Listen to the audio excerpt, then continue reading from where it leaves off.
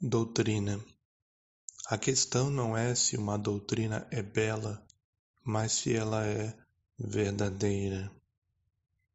Há tanto direito de crer nas doutrinas do cristianismo quanto dever de praticá-las. Se você crê somente no que gosta do Evangelho e rejeita o que não gosta, não é o Evangelho que você crê, mas sim é em si mesmo. A indiferença doutrinária não é a solução para o problema das diferenças doutrinárias. Doutrina é uma coisa prática, visto que desperta o coração. A doutrina não é tarefa da língua, mas da vida. Ela é recebida apenas quando toma conta da alma toda. Como é humilhante para todos os que estão aprendendo descobrir que sua doutrina ultrapassou suas experiências. Algumas coisas confiamos a Deus, outras Deus confia a nós. Aquilo que Deus confia a nós é principalmente sua verdade. Às vezes, as verdades mais claras são os argumentos mais fortes em favor dos deveres mais difíceis.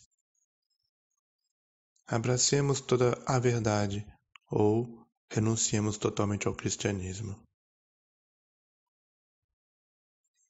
Você não pode abandonar os grandes temas doutrinários e ainda assim produzir grandes santos.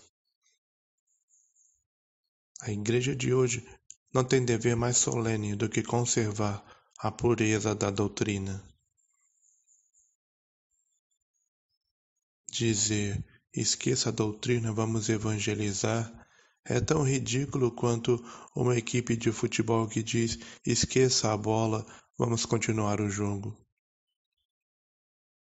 Qualquer ensinamento que não se enquadre nas Escrituras deve ser rejeitado, mesmo que faça chover milagres todos os dias. A finalidade para a qual Deus instrui a mente é que ele possa transformar a vida.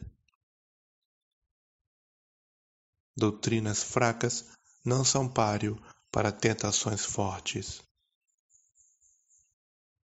Se não tornarmos clara nossa posição com palavras e obras em favor da verdade e contra as falsas doutrinas, estaremos edificando um muro entre a próxima geração e o Evangelho. Aquele que crê mal nunca pode viver bem, pois não tem alicerces. Os homens, para serem verdadeiramente ganhos, precisam ser ganhos pela verdade. O propósito que está por trás de toda doutrina é garantir a ação moral.